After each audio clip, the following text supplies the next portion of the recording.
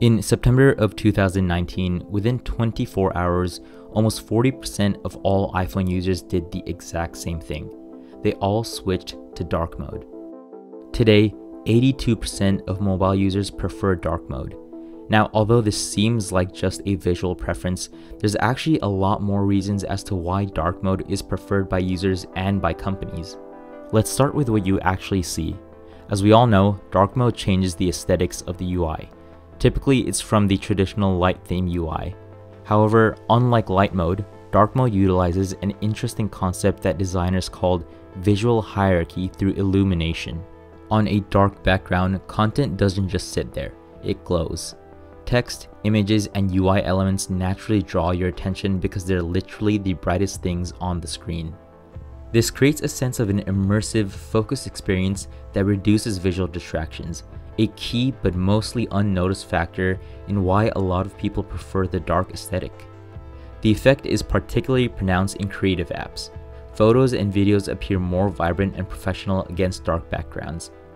That's why almost every major photo and video editing app from Photoshop to Final Cut Pro, has embraced dark interfaces. Now, not only does it help with staying focused, but there's also a certain feeling that you get from using a dark mode product. Research consistently links dark interfaces with sophistication, elegance, and technological advancements.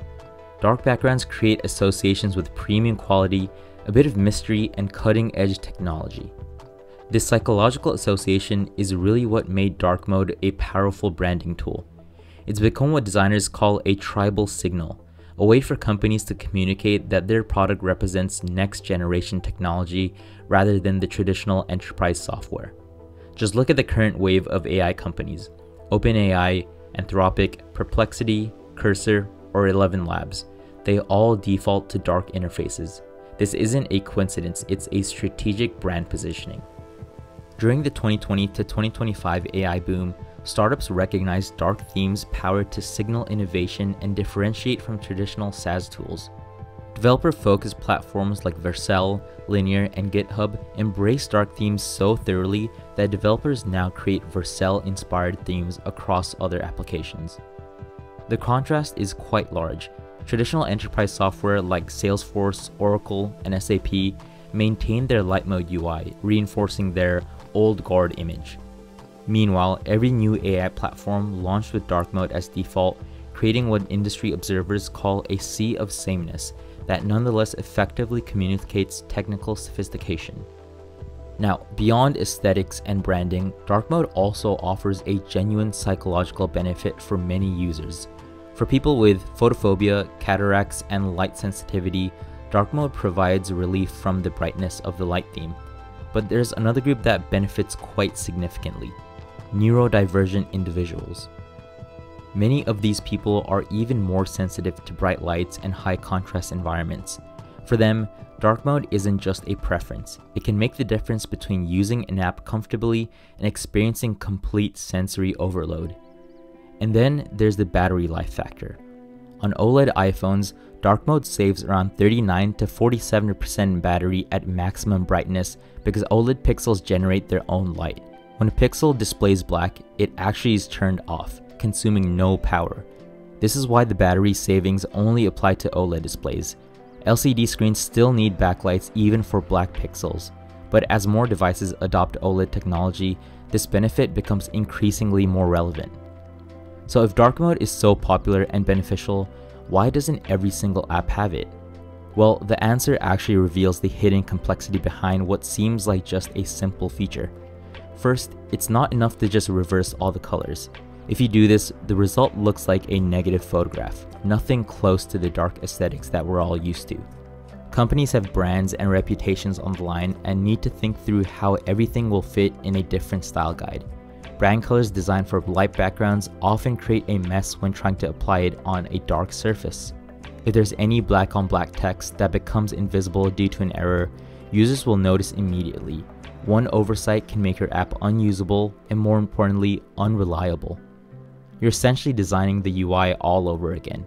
Shadows meant for light apps feel out of place on dark backgrounds, and typography needs adjustment as light text appears bolder, requiring reduced font weight for balance. From a developer perspective, implementing dark mode requires your app's theming system to be architected properly. Ideally, you should be able to change a very minimal amount of code to switch your entire app's theme. But many apps weren't built this way. Colors were hard-coded through their codebase. If your app wasn't built with a theming system, implementing one in a large project might require many weeks of work, touching almost every file. And because of this amount of work, implementing dark mode means other features might get delayed. For a lot of companies, dark mode is a nice to have update for what seems like a niche group of users, making it hard to justify it over other revenue generating features. The additional aspect to dark mode is that this will need ongoing commitment. Having dark mode available means every new feature needs to be designed to work in both themes. This doesn't just mean doubling design work, but it often reveals inconsistencies in the app and forces more systematic thinking about your design system. QA becomes more complex.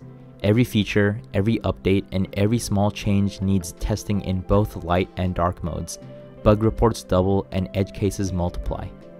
However, despite these challenges, competitive pressure is making dark mode implementation inevitable.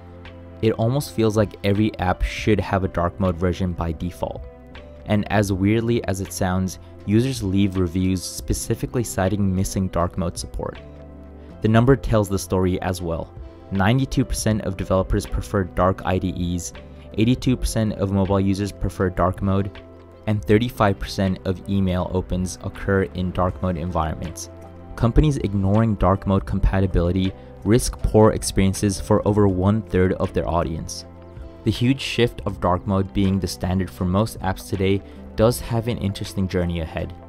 With the partnership of OpenAI and Jony Ive, there seems to be a future where we are in a screenless society. Altman and Ive have hinted at their work of building a piece of technology that is far greater than the iPhone, something that truly knows who you are and the context of your surroundings. If this comes true, what will the future of UI look like? We might be witnessing the final generation of screen-based interfaces. In a world where technology truly knows who you are and your surroundings, the question might not even be light mode or dark mode. It might just be, how does this interface adapt with my exact needs right now in this moment?